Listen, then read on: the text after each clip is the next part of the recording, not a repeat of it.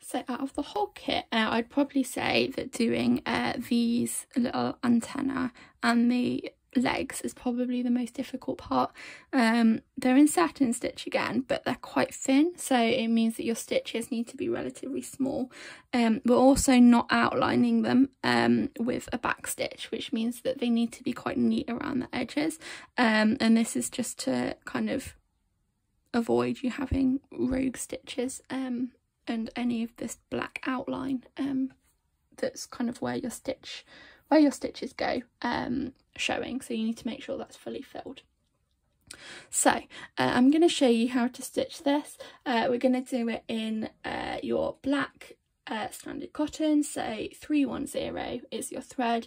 Um, you need to make sure that you've uh, split it down, so you've got your two strands, um, you've threaded your needle, and you've got a knot in the end of it, um, just so that it won't pull through the fabric.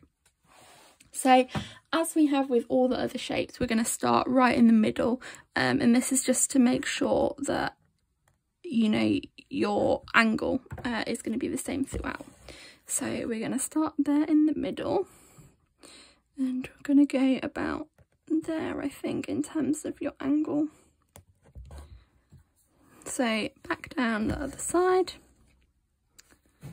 And you're going to do exactly the same as you have on all the other things. So you're just going to continue bringing your stitches up and down right next to each other until you've filled the whole section.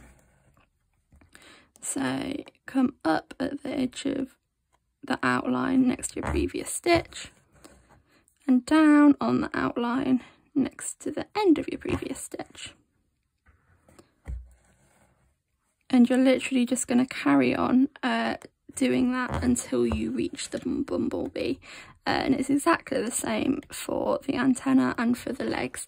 Uh, the legs kind of go in and out a bit more so you can see how this is quite straight. Um, but the legs kind of have a little bit more shape to them. Um, and that's just through following the outline. Um, but the outline again is only a guide. It doesn't really matter if you um, make them slightly bumpier or slightly straighter.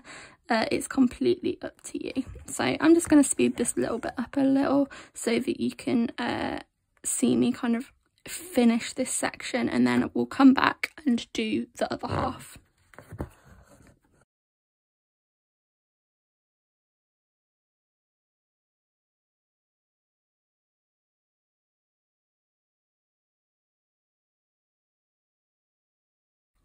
Okay, so you can see that we've now filled in all the way up to the head. So we need to come back to the centre and fill in um, up to the top of the antenna now. So we're going to do exactly the same, just in the other direction. So we're going to come up next to that very first stitch that we made. On the outline pull through and then we're going to go down right next to where that first stitch went down. Again on the outline.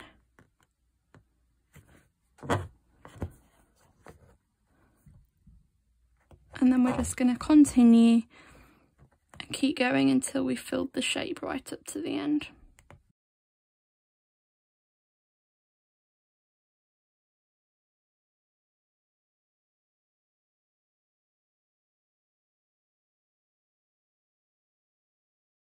Okay, fantastic. I'm happy that I've now kind of reached the end of that section uh, and completed this section of antenna. So yeah, you can do exactly the same for all of the legs uh, on this bumblebee. Just keep going until you've finished them all.